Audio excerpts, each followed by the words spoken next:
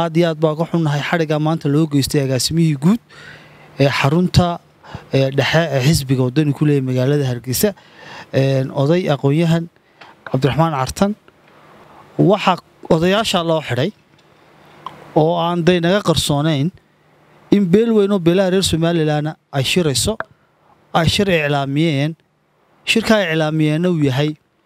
Mid danta somalilan iyo danahooda deegaanadooda ay kaga tashanayaan. Somalilan waxay ku suntan tahay waa heshiis bulsho. Heshiiskaa bulsho haddii la ixtiraami waayana somalilan dee dadku way tashanayaan. Marka maamulka muuse biixi waxaa ugu baaqaynaa inuu ka daayo dadka xadhigga waxaa ugu baaqaynaa inuu caaburinta ka daayo.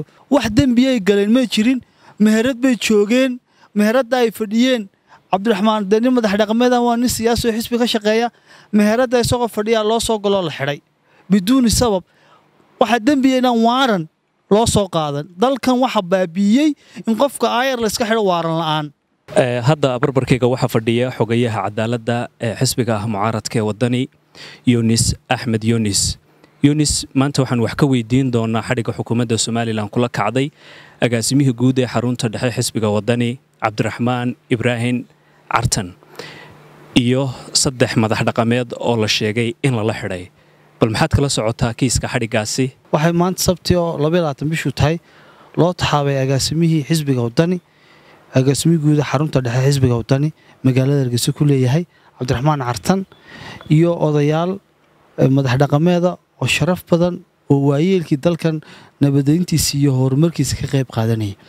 Waxaan u aragnaa xadhiggaas caburin iyo dembi weyn oo laga gelaya muwaadiniinta iyo xorriyadda hadalka. Waxaan ugu baaqaynaa xukuumadda inay xadhiggaa ummadda ka dayso agaasimahana degdega xorriyaddiisa ugu soo celiso.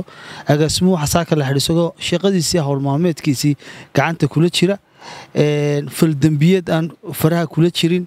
Nin siyaasiya oo xisbi weyn ka shaqaynaya ayaa saaka markuu soo shaqo tegay xabsiga loo taxaabay marka waxa weeye inay somalilan caburintii hadalka ay halkaa marayso oo madaxdii xisbiyada la xidhxidhayo oo madaxdii madax dhaqameedka la xidhayo oo haldoorkii ummadda la xidhayo waxay ku tusaysaa ku dhaqanla-aanta sharciga. Marka aad iyo aad baa ka xunnahay xadhiggaa maanta loo geystay agaasimihii guud ee xarunta dhexe ee xisbiga wadani ku leeyahy magaalada hargeysa oday aqoon-yahan cabdiraxmaan cartan oo waayeelka xisbiga ku jira oo nin mudakara ah oo shaqadiisa ku fiican oo maanta isagoo shaqadii gudanaya la xidhay oo ciidan ay xabsiga u taabeen. Marka odayaasha kale lala xidhay ee iyakana saaka la xidhayna waxaan ugu baaqaynaa loosoo loo soo celiyo. Waxaa odayaashaa loo xidhay oo aan day naga qarsoonayn in beel weynoo beelaha reer somalilanna ay shirayso ay shir iclaamiyeen shirkaa iclaamiyeenna uu yahay mid danta somalilan iyo danahooda deegaanadooda ay kaga tashanayaan. Marka waxaynu arkaynay dad dowladdu soo abaabushay ama oo dee ka hadlayey shirkaa oo le ma oon ka soo horjeednaa in kuwii ka soo horlalahaa shirkii ka soo horjeedaana dee abaalgud looga dhigay in ay suuqa joogaan ama waxyaalo qaar loo ballan qaadayo. Kuwii shirka taageersanaana xabsiga loo taxaabayo waxay ku tusaysaa iyaduna dembi weyn oo ummadda somalilan laga gelayo oo lagu faquuqayo oo ciddii dowladda taageersana la leeyahay way saxsan yihiin. Ciddii dowladda aan taageersanayna la xidhayo dambiiliyaa laga dhigaya marka somalilan waxay ku suntan tahay waa heshiis bulsho.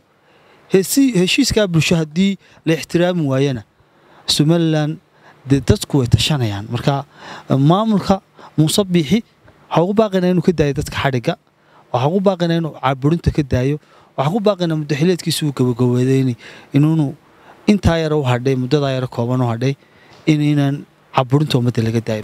Yunis waxaad sheegtay in cabdiraxmaan cartan agaasimaha guud ee xarunta dhexe ee xisbiga waddani uu shaqadiisa gudanayey isla markaasna uu la kula sugnaa mid ka mid a hoteelada magaalada hargeysa madax dhaqameed ka hadlayey arrimaha ku saabsan qabanqaabada shirweynaha mid ka mida beelaha somalilan ay qabsanayso.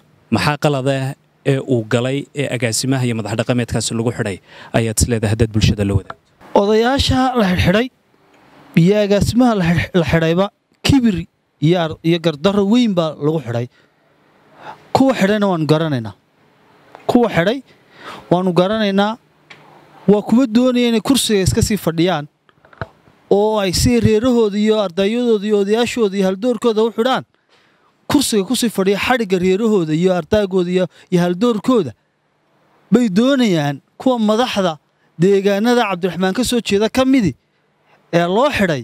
Waxay doonayaan inay ku sii fadhiyaan xadhigga cagajuglaynta caburinta xajiimaynta iyo ceebaynta dadka deegaankooda sharafta badan leh. Ayay doonayaan inay kursiga ku sii fadhibiyaan. Marka wax dembiyay galeen may jirin meherad bay joogeen meheradda ay fadhiyeen. Cabdiraxmaan dee nin madax dhaqameedan waa nin siyaasi oo xisbi ka shaqeeya. Meheradda isagoo fadhiyaa loo soo galoo la xidhay biduuni sabab waxaa dembiya inaan waaran loo soo qaadan. Dalkan waxa baabiiyey in qofka aayar layska xidho waaran la'aan. Maxkamaddunbaa xidhi karaysa. Ama waa in qofkaas uu faragaraasa ama faldembiyeed gacanta kula jiro. Labadii midna may dhicin. Marka kibir iyo aadiyad baa lagu xidhay agaasimaha iyo odayaasha haldoorkaa ee reer hargeysa ee sharafta badan ee taageersanaa shirka. Waxaa lagu xidhay kibir iyo aadiyad baa lagu xidhay war waxaan leenahay kuwa kuraasta ku fadhiya waar kuma helaysaan inaad dadka deegaankiina caburintooda iyo xadhigooda kursiga ku sii fadhigi kari maysaane maalmo yar baad kursiga la fadhiyaaye. Maalmahaa yar ku sogootiya cibaado iyo sharaf iyo ummaddaad shaqo wanaagsan u qabat ugu dambayn ay dembi galeen mas'uuliyiin mas'uulka la xidhay iyo madax dhaqameedku miyaanay laamaha sharcigu u bannaanayn inay gacanta ku xaqu ma laha.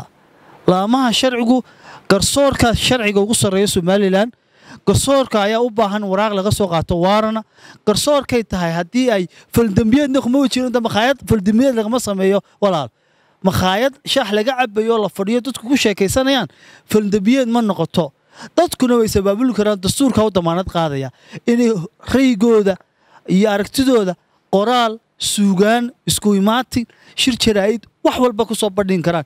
Marka dastuurdiid weeye kuwa maanta kursiga inoo fadhiyaa waa dastuurdiid dastuurkii bay diidan yihiinoo dabaqaaddii dastuurka dadka reer somalilan sharafta badan leh ee maanta ilbaxay ee fahmaya xuquuqdooda dastuuriga inay cabiraan dadku waxay ka ilbaxeen inay dagaalamaan. Dadku waxay barteen inay xurriyadooda dastuurku siiyey inay cabiri karaan inay hadli karaan. Hadalkuna waa ilbaxnimo ma aha dagaal iyo jariimooyin kale. Marka waan ka xunnahay marka waxaan leenahay kuwa waxaa ku kacay or ummadda ilaahay ka baqay ummadda ka xishoodoo kursigana ilaahay baa bixiye. Dadka xorriyaddooda way socdaa mahadsantiin xamse xayd wararka lanta soomaaliga c b a t v hargeysa.